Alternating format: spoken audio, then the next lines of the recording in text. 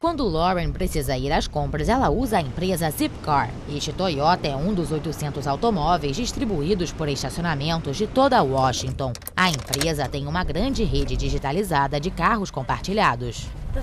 O melhor da Zipcar é que o serviço é conveniente para viagens curtas. Gosto realmente, já que é fácil de se cadastrar e há sempre muitos carros disponíveis onde moro e onde trabalho.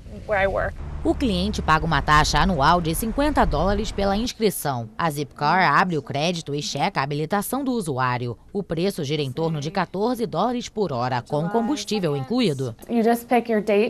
Você escolhe a data, o local onde quer pegar o carro e o tipo de carro que prefere. Minha casa é aqui. Atrás do meu prédio tem um Zipcar e outro a um quarteirão. De acordo com uma pesquisa da Zipcar, cada veículo da empresa representa 12 a menos nas ruas. Este é um argumento que ajudou a convencer as autoridades da cidade, mesmo que a princípio os residentes estivessem resistentes ao projeto. Primeiro, as pessoas se perguntavam: para bancar uma empresa privada, temos que colocar os espaços públicos de lado? Foram necessárias muitas reuniões até que as diferentes comunidades aceitassem a ideia. No final, valeu muito a pena. Para agradar os clientes preocupados com o meio ambiente, um terço dos carros são híbridos. Há até um novo aplicativo no iPhone para fazer todo o processo mais fácil.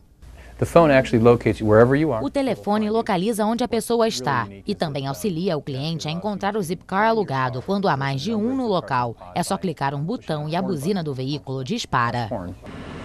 300 mil pessoas estão inscritas na empresa em 13 cidades e 125 universidades. A Zipcar cresce e, mesmo sob crise financeira, deve começar a dar lucro.